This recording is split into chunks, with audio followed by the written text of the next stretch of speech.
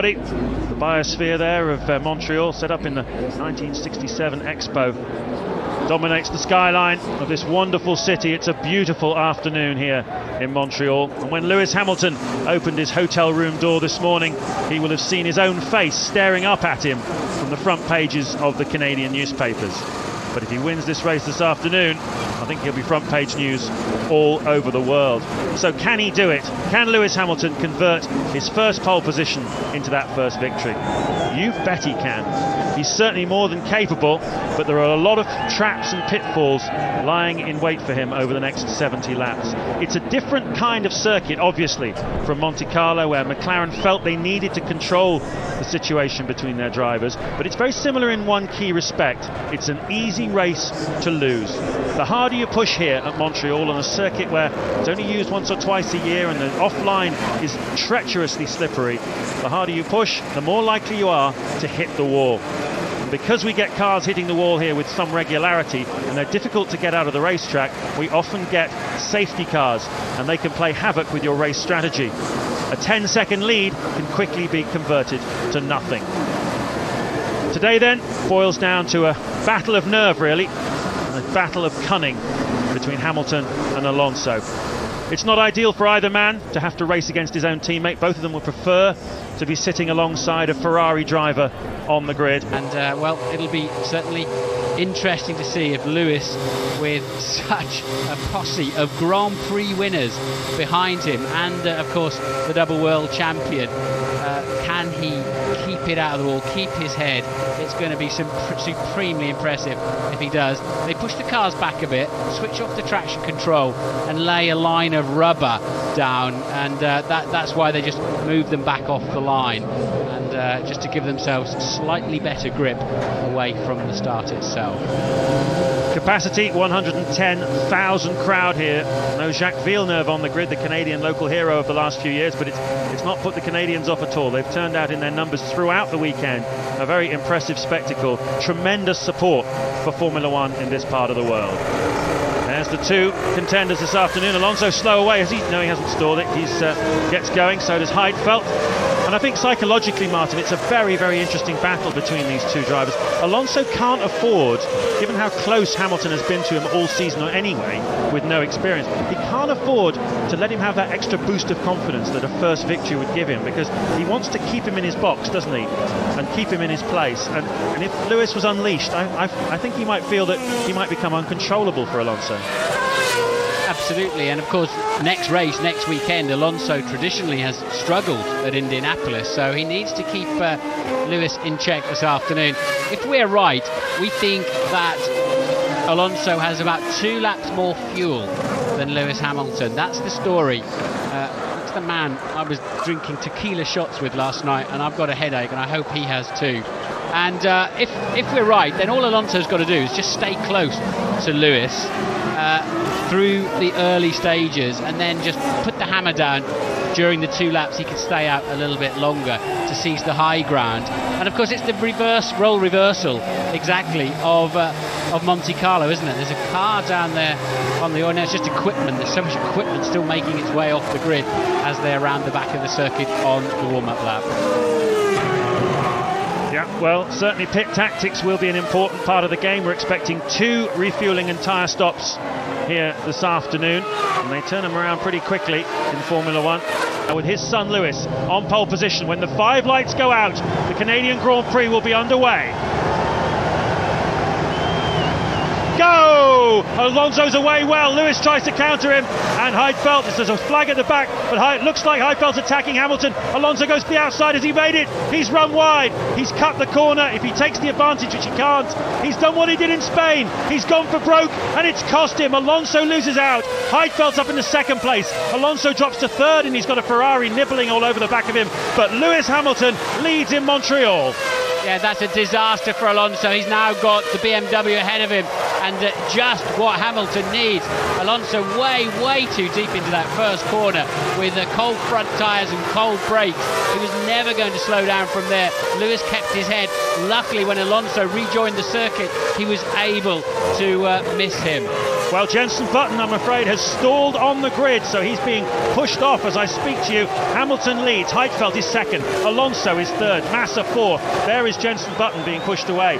Rosberg up to fifth, Raikkonen is down to sixth, Fisichella up two places to seventh, Kubica is where he started in eighth.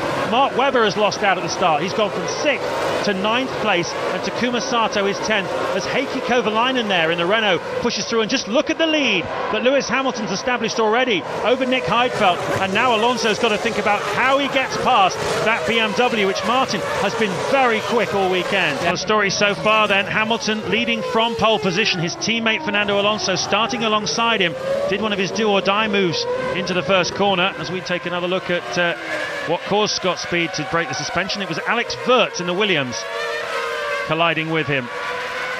We've lost Jenson Button, as we've heard from uh, Louise. As we take another look at that uh, 50 into the corner, hit the rear wing as well. Yeah, it's not really an overtaking place there. The braking distance is too short. It's too bumpy on the inside, off the racing line anyway. And uh, Hamilton, the only man in the 1 minute 16s, he's on lap 11. He's 7.7 seconds clear now and just waltzing away and does not look like he's punishing the car particularly hard either. Driving beautifully, keeping some margin to the walls. And if anything, it looks like Alonso's the one who's struggling at the moment. He's almost two seconds behind Nick Heidfeld now, lapping slightly slower than the BMW driver. Just, uh, over four seconds on that lap. A little adventure across the grass. Hamilton, though, looking supremely composed, no doubt about it. Driving like a veteran.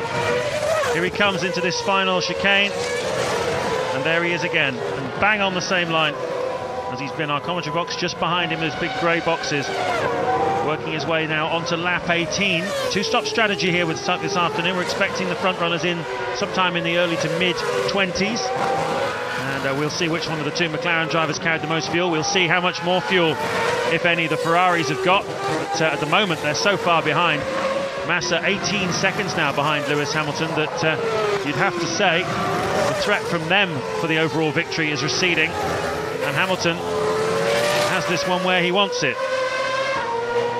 Yeah, he's not leaving uh, too much to spare on the outside of the corners, though, is he? He's, certainly, he's not coasting, that's a fact.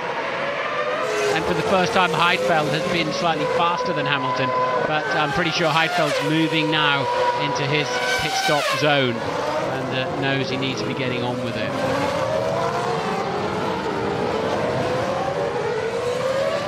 Eighth is Robert Kubica in the BMW. This is uh, Alonso. Is that the same? He just did that a moment ago. Is that the same one? Oh, it's not. Look, he's let Massa through. So the third time today into turn one, Alonso's made a mistake, and this time it's really cost him again as Massa has dived through to take that third place, that final podium position at the moment. What is going on with Fernando Alonso? Well, I do wonder if he damaged the underneath of the car in the first lap, but I, would be surprised across the grass there. Not a particularly high curb as uh, Massa's younger brother there enjoying that moment. But Alonso really in with a great danger of losing a lot of points here to, to Lewis Hamilton, who he's co-leading the World Championship with, of course. Hamilton looking supremely composed on lap 20, 10 seconds ahead of Heidfeld. Heidfeld getting very near to where we're expecting him in the pit. And here he is into the pit lane, Lewis Hamilton in the McLaren leading this Grand Prix. He had a 19 second lead over Felipe Massa's Ferrari and 21 seconds over Alonso at the time of this stop.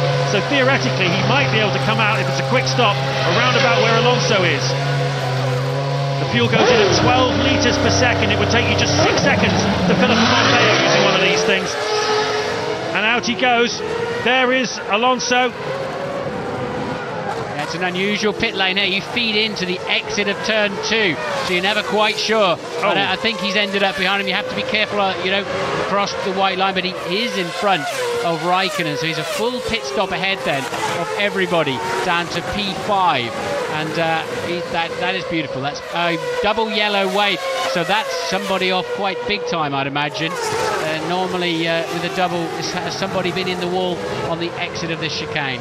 So Lewis Hamilton rejoins in fourth place behind Massa, Alonso, and Rosberg. They are the top three at the moment, but of course Hamilton has the advantage of uh, having made that stop, so he can sit there and uh, enjoy the moment. But he can.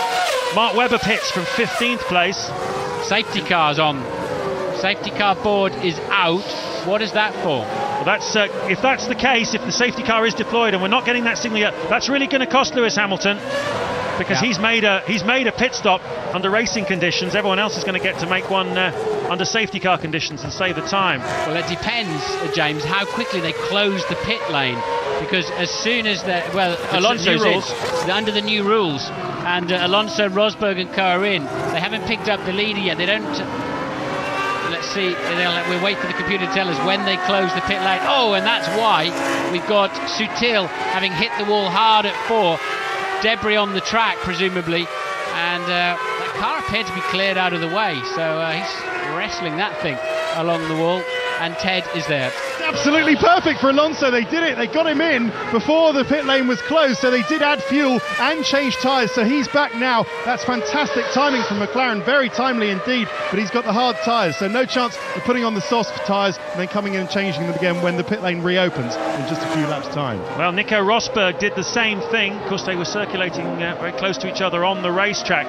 And I did see them both diving into the pit lane before the signal was given on the computer that safety car has been deployed. So we've got a Spyker in the wall, and where does this leave Lewis Hamilton? Long way to go, 47 laps here in Canada, and we've got our safety car.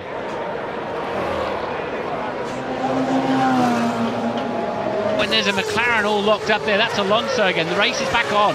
Hamilton comes through to lead. He had a 19 second lead before the safety car was deployed. That has been reduced to a matter of a few yards. He's got to do it all over again, Lewis Hamilton. But such was his consistency and his composure in the opening stint, you wouldn't bet against him being able to do it. Heidfeld is in second, just as he was at the original start, and Alonso is in third place. It's exactly the situation we had on the opening lap. All three of these cars have made their pit stops. Obviously, Rosberg is gained from it. He's fourth.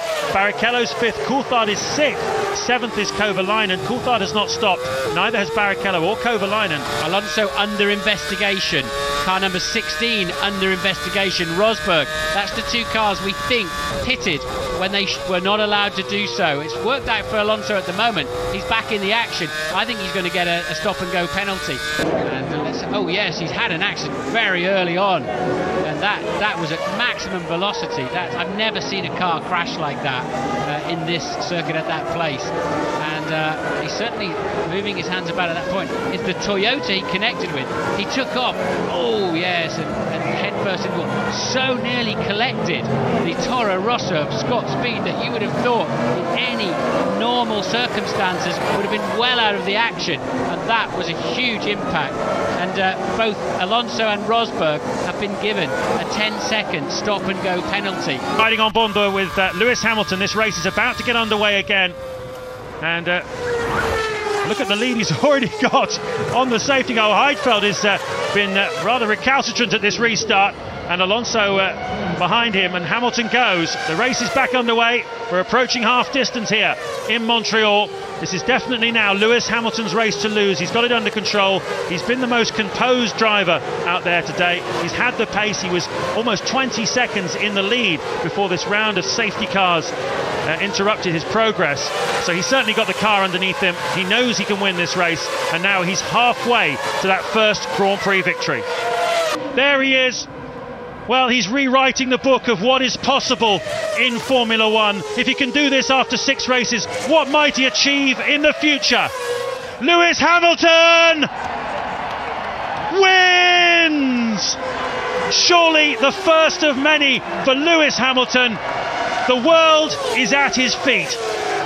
What a drive, what a mega star we've got on our hands with Lewis Hamilton. I can't imagine a more challenging afternoon on a dry racing track anyway. Absolutely sensational, faultless, brilliant performance by Lewis Hamilton. Heidfeld got second, Wurz on the podium for Williams. Well done to him. Kovalainen fourth, Raikkonen fifth, and uh, Sato sixth, Alonso seventh, Ralf Schumacher getting the last point for Toyota.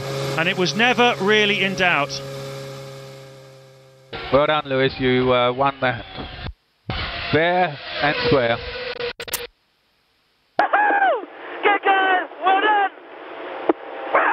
And celebrating the 150th podium for the McLaren Mercedes Alliance and scoring his first ever Grand Prix victory for Vodafone McLaren Mercedes, Lewis Hamilton.